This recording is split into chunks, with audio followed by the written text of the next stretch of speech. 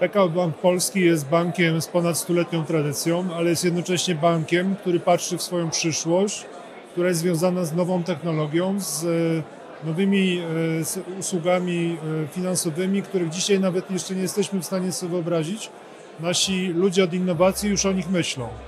I dzięki temu, że mamy takie otwarte głowy i chcemy się rozwijać w stronę nowoczesności, uważamy, że nasze uczestnictwo w Fintech Poland jest właśnie taką szansą, żeby wspólnie, jako partner strategiczny, ale również jako taki partner, który będzie po prostu obecny w życiu tej społeczności, wspólnie pracować nad nowymi standardami, nad rozwiązaniami regulacyjnymi, nad produktami, które będą napędzały naszą przyszłość.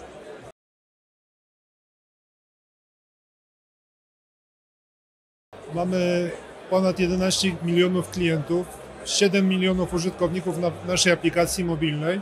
Te wszystkie rozwiązania, które są frontendem dla naszych klientów, są jednocześnie tworzone z dużym udziałem fintechów, które zaprosiliśmy do współpracy z nami. Są oczywiście tworzone rozwiązania wewnątrz banku, ale też e, obserwujemy, współpracujemy z najlepszymi e, podmiotami, startupami, które e, są z tej rodziny, szeroko rozumianej rodziny fintechowej, które mają pomysł, mają rozwiązania, które my jako duży bank możemy zastosować. To jest to nasze naturalne DNA patrzenia, współpracy, bycia razem. Chcemy to robić, będziemy to dalej robić.